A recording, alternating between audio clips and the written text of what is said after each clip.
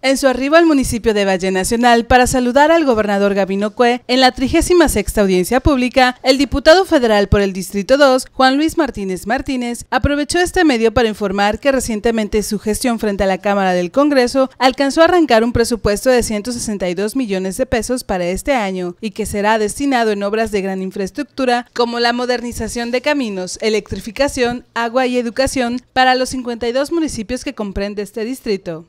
Quiero decirte que además logramos un presupuesto histórico para este Distrito 2 de 162 millones de pesos que se van a invertir en obras de infraestructura caminera, agua, luz, drenaje y la cuestión educativa. Una parte que tenemos que apostarle mucho a la educación para que nuestros niños, para que nuestros jóvenes pues tengan un porvenir mejor y por supuesto que estamos caminando, estamos ayudando mucho en la gestión federal a todos nuestros presidentes municipales y Valle Nacional no es la excepción.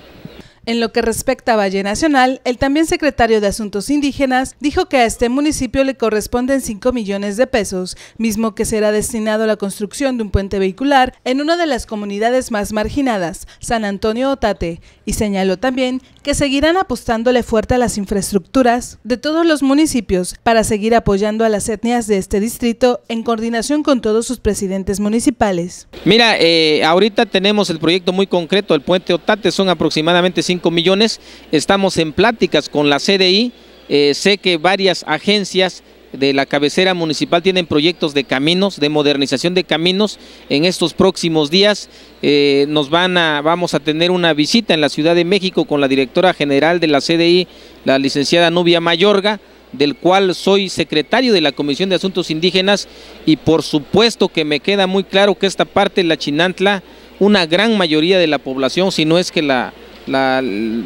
eh, una gran proporción pertenecen a estas etnias y por supuesto que es ahí en donde le vamos a apostar y le vamos a invertir de la mano con las autoridades municipales de la región reconoció el abandono en el que se encuentra actualmente el campo y sobre todo el sector cafetalero, por lo que manifestó que será necesario agilizar proyectos para apoyar a los productores y reiteró su compromiso con el sector agrario al reafirmar que en el Congreso serán atendidos a través de la Comisión del Café y puedan encontrar alguna solución y apoyo para este sector. Me queda muy claro la situación de los cafeticultores de esta zona, de los campesinos que definitivamente están abandonados, eh, hemos hecho de que a través de la Comisión del Café en el Congreso Federal se atiendan, se atiendan esos proyectos, se atienda esta parte tan sensible que son nuestros cafeticultores que por años han estado abandonados, pero quiero reafirmarte que Juan Luis Martínez es un hombre de palabra, un hombre de compromisos, por eso es que nuevamente estamos regresando a Valle Nacional para cumplir con la palabra empeñada. Indicó que seguirá dando la cara en todos los municipios, pero aclaró que será con resultados reales y aseguró su regreso a este lugar en los próximos meses para hacer entrega de los proyectos que manejará en coordinación con el presidente Fernando Vicente Cruz para el desarrollo del municipio de Valle Nacional. Con imágenes e información de Alejandro Morales, reportó Claudio Ortega.